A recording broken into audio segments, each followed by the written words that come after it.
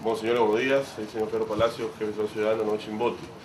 Este, dentro de las investigaciones que hemos realizado nosotros este, con nuestras cámaras de biovigilancia de, del día de los hechos eh, del atentado contra el señor Lasco, hemos encontrado unas imágenes, específicamente dos imágenes, en las cuales se ve el ingreso hacia la zona del 3 de octubre que es de donde vive el señor Nolasco, de una, de una unidad motorizada, una moto lineal, con tres personas a bordo.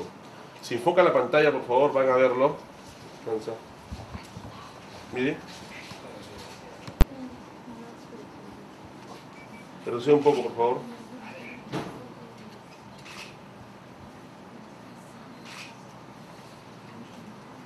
Verifica. Tomen, por favor, tomen nota, por favor. Ahí la moto.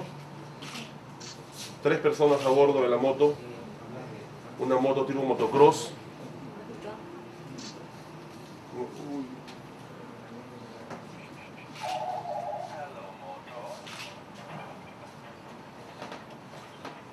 ¿Ves? Se notan por las cámaras tres personas a bordo de la moto.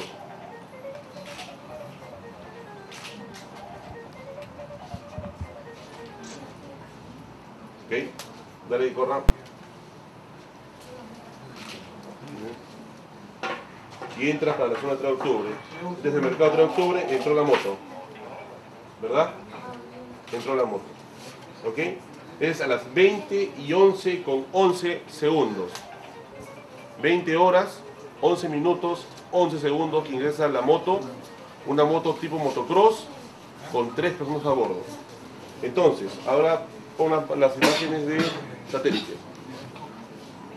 Esta es la cámara que tenemos instalada en el sector de satélite, que es el ingreso al sector de Pepao, la loma de Pepao, Davidazo, ¿verdad? Entonces, se ve un poco borroso, pero a las, se ve en estos momentos, dale, que hace ingreso una moto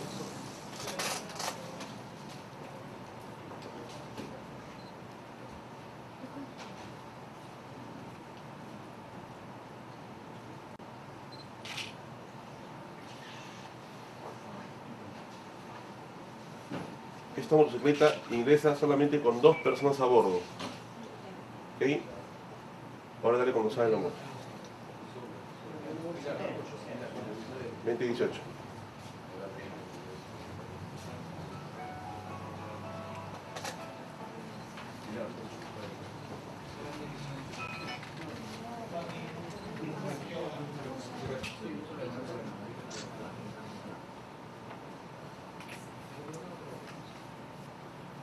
Amplificamos con el software y sale la moto.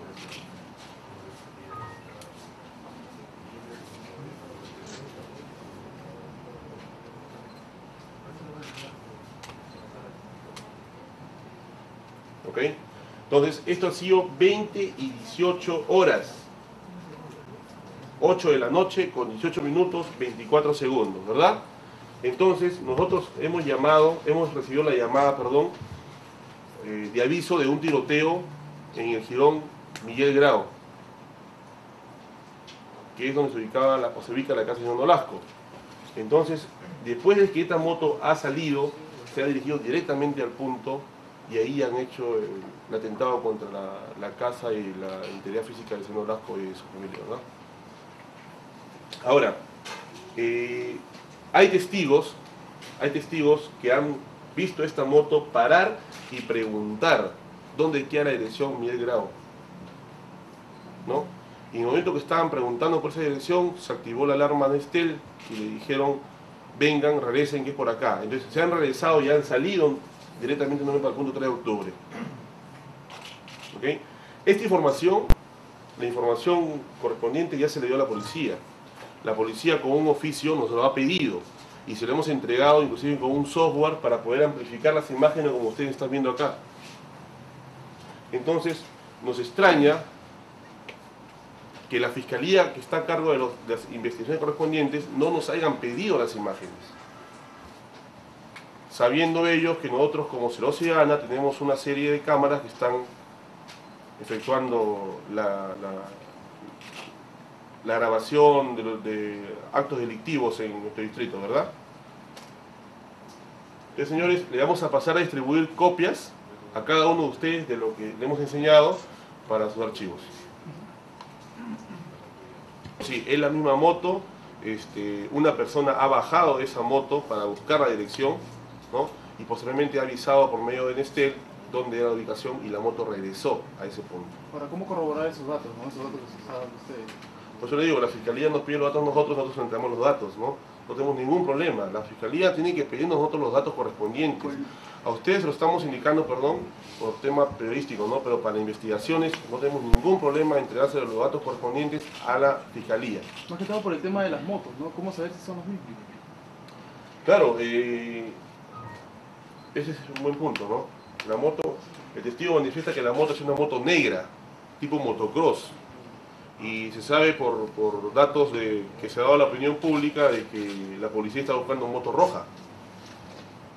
Y la moto, según testigos, ha sido una moto negra eh, con colores blancos. Una moto tipo motocross, sin placa. Ese testigo, ¿qué más les ha dicho a ustedes? ¿Qué otras cosas, qué otras informaciones les ha dado?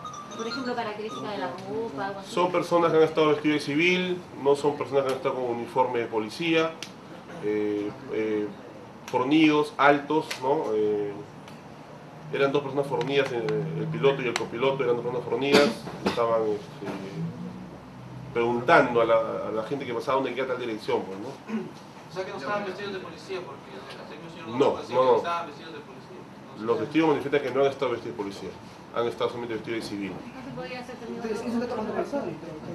Porque los testigos señalan claramente que los que han para que de esto ayude a, a- a- ayude a, a esclarecer el caso, ¿no? No nos están pidiendo, estamos, hacemos público llamado hacia la fiscalía correspondiente para que nos pidan, nos pidan las imágenes con un documento. La policía, eh, la CEINCLE nos ha pedido la- las imágenes y se le hemos entregado inclusive con una carta de respuesta, ¿no?